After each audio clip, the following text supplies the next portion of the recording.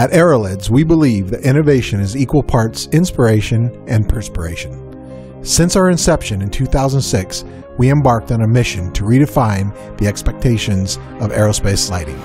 Entering the aerospace lighting market, which had remained largely unchanged for 50 years and in drastic need of a new product with fresh look and unequaled performance, AeroLEDs was inspired to redefine the expectations, which resulted in a series of innovative designs. Hungry for new ideas, backed by a company that valued the patronage, customers quickly adopted the new standard of quality, design, and performance never seen before in the industry. Over the past 12 years, AeroLEDs installation, ranging from the experimental and 23 markets up to the space and military applications, with over 15 tactical military platforms featuring products in both overt and covert operations.